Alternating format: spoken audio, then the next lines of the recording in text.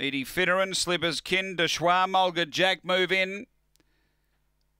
And uh, we're right to go. Light on, set to race. Race four, Angle Park, we're ready.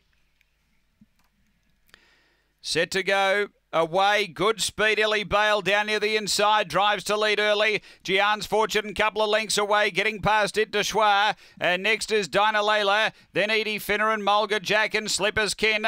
Up front, it's Ellie Bale clear by three. Dinah Layla doing the chasing, just bumping there with Deschwa. Ellie Bale clear. Mulga Jack running on into second, but Ellie Bale. Ellie Bale beats uh, second Mulga Jack, third Gian's Fortune, fourth Slippers Kin, I'd say, uh, just in front of Deschwa. Uh, then came Edie Finneran and Dinah Layla drifted back toward the end. The time here is around 22 and 70.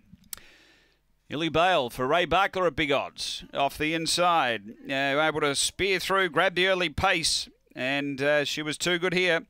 Ray Barkler, owner trainer, Black Bitch, September 2015. Jarvis Bale for Tula Bale, number one. Second, going to eight, Mulga Jack, Adam Manton. A Black Dog, April 2016. Dyna Double One, Latino Princess. And seven third, uh, which is Gian's Fortune, Bosco Stamekovic, a black bitch, May 2016, Beckham Bale, Deschamps Fortune. 187, uh, four.